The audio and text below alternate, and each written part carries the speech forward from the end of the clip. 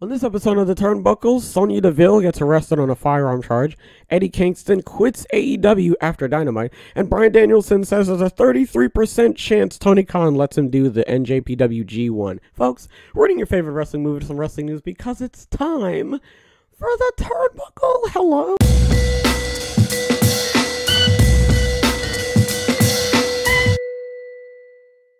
Sonya Deville was arrested in New Jersey recently for having a firearm in her vehicle. According to a social media post from Sean Ross Sapp and a report from TMZ, the 29 year old began carrying a firearm following the home invasion incident she was victim to on August 16, 2020. The arrest occurred on February 19th in Atlantic City, and Deville has been charged with one count of unlawful weapon possession, handgun without permit. A valet reportedly discovered the weapon in Deville's glove box and contacted the police. DeVille was then arrested at the scene when the police arrived. DeVille is said to have a permit for the firearm registered in Florida but not in New Jersey. She's in the process of having the charges thrown out. TMZ is reporting DeVille is due in court later this month. When I saw this, I didn't even think it was real. I'm not even gonna lie to you right now. Like sometimes there's news that comes out. Actually, you know what? I think the problem was that I saw it on Reddit. I saw it as a Reddit post, and I thought it was a meme for a second. And then everybody else was talking about it, and I was like, oh, this is actually a thing. She actually did get arrested. So it seems like it wasn't like a. Uh, listen, all right, it's not one of those. Uh, it's not one of these uh, football player uh, types of articles where it's like Mance is, is flying down a neighborhood doing like 95 and he's got like a Mac 10 in his back seat and you know he's got tequila in his breath and all that. I assume that uh this is pretty much uh gonna be one and done because uh she has a permit. It's just not for the right state. So obviously everything's getting squared away and once that's done, pretty much not gonna talk about it anymore. So yeah, man. Uh, good to know that it's not, you know, uh, any, anything like irresponsible, uh, and or anything like that, or anything dangerous. It's just, you know, again, just uh, paper mixer. That's all. Next, we're going to talk about Eddie Kingston and how he said he quits AEW after Dynamite went off the air. Eddie Kingston's recent frustrations with AEW management reached a boiling point on this week's AEW Dynamite as the Mad King announced his departure from the company. After Wednesday's show went off the air, Kingston said in a backstage interview, I quit AEW, thanks. Earlier in the night, Kingston and his former tag team partner Ortiz were part of the Face of the Revolution ladder match, but never actually wrestled inside the squared circle.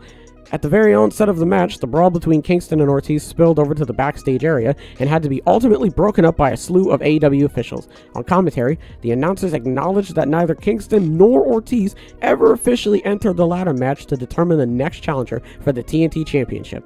In the lead up to Wednesday's show, Kingston wrote, I hate this place, while responding to a tweet promoting the Face of the Revolution ladder match, hinting that he had no interest in participating in the match.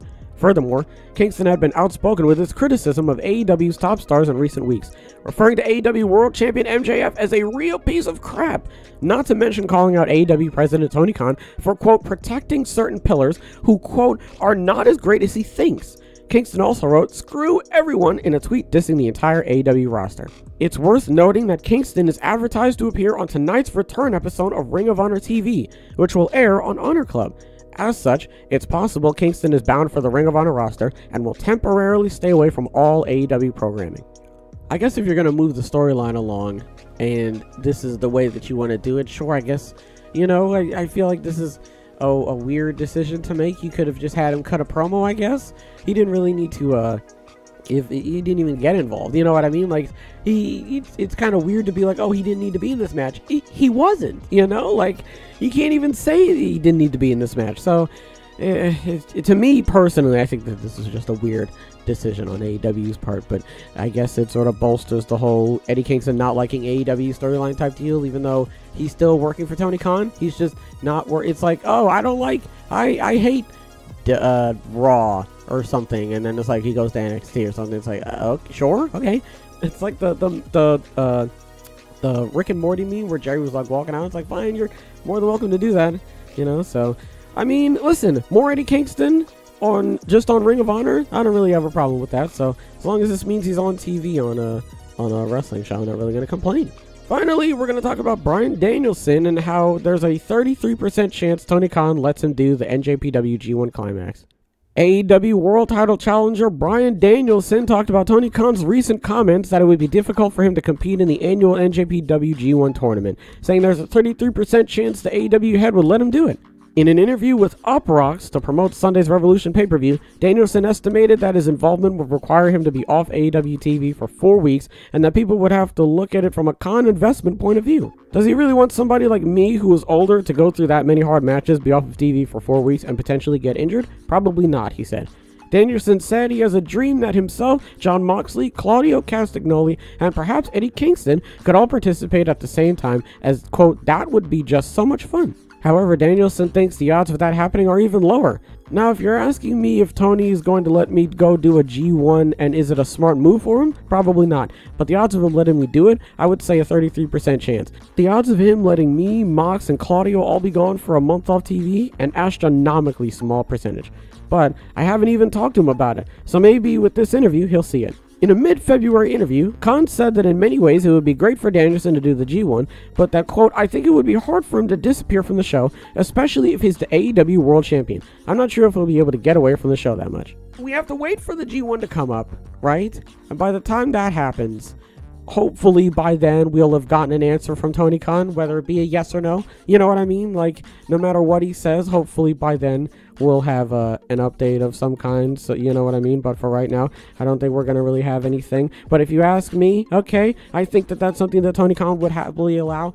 I think that um, Tony Khan is obviously to be okay with doing that, considering the fact that uh, when AEW was like not just starting, but if you remember when AEW was like going through the pandemic and it was during the empty arena stage, and that's when like uh, Powerhouse Hobbs like just started up. That's when A uh, when AEW. That's when Jon Moxley was running around as the um the IWGP US uh, champion, and then they've had Jay White come over and everything like that. So it, there's obviously a lot of back and forth. So Tony Khan isn't really going to have a problem with putting Danielson and like a couple other people through rotation through NJPW and stuff like that. But for right now, I don't think he's going to do that. I think he's got a he's throwing everybody in a Ring of Honor, and Moxley's got a storyline and stuff like that. I think there's too many things happening um, right now for that to uh, really be a factor. But the G1's not here yet, so we just have to wait and see once that rolls up when everything is going to start falling into place. So right now we can't really say too much.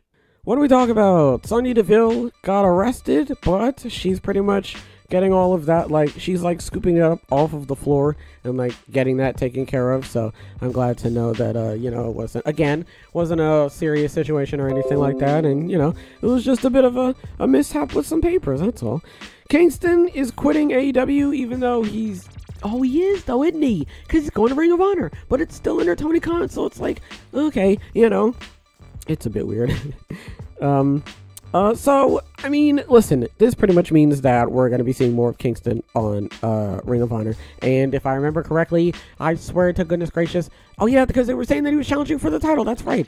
They were saying that Kingston was challenging Claudio for the title. So, I mean, listen, Kingston be going from like having a slap fight all the way up the ring, all the way up the ramp, and barely being shown in the match to immediately being like, "Hey, world champion, I want to fight you."